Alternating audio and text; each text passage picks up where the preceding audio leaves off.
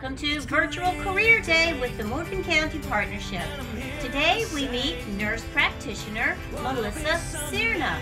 Listen as she tells a story about her career working and helping others. Have fun! Meet Melissa Sirna. NP nurse practitioner.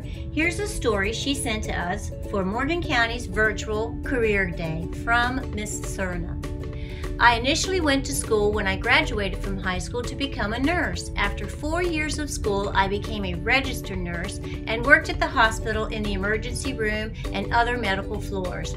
I worked as a nurse for 10 plus years. I loved being a nurse and was able to help a person who was sick in every way by helping them to get clean, by helping them take a bath, helping them learn how to get out of bed again after being so weak and watching them walk for the first time in days or sometimes weeks by helping to clean a wound and put dressing on it and being able to watch it heal over time, by giving patients medications to help them get healthy because of infection or because they had a bad heart. I have done CPR on so many patients, I cannot remember how many. This is when someone's heart stops, or maybe they have had an accident and stopped breathing, and you have to give chest compressions and breaths to save their life.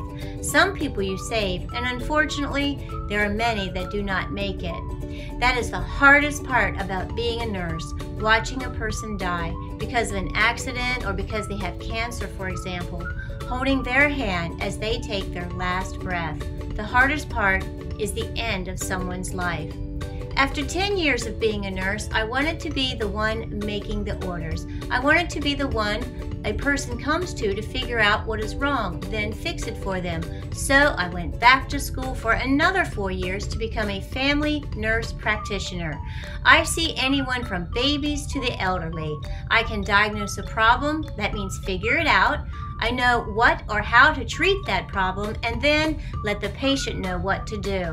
I have worked in the COVID unit diagnosing and treating COVID, and I never got COVID. I work at urgent care. There, I get to figure out what is wrong with a patient after they tell me how they're feeling, then assessing them, which means listening to their hearts, lungs, stomach, etc., looking at their skin, eyes, ears, mouth, etc. And then I write prescriptions for illnesses like strep throat or stomach aches, stitches for cuts, slings or casts for broken bones.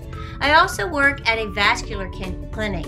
This means I help people's veins become healthy. Your veins are like pipes that bring blood back to your heart, but sometimes they stop working well and the blood goes backwards. So we can take the veins out or put medications in them to help them work properly. Some pros about being a nurse is helping to get a patient better and knowing to help my family if they are sick.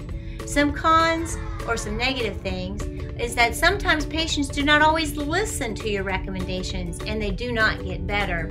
And also, you never stop working. The hours are long and there's a lot of paperwork and computer work to keep track of a person's health. Thanks for listening, and I hope you have a great career day.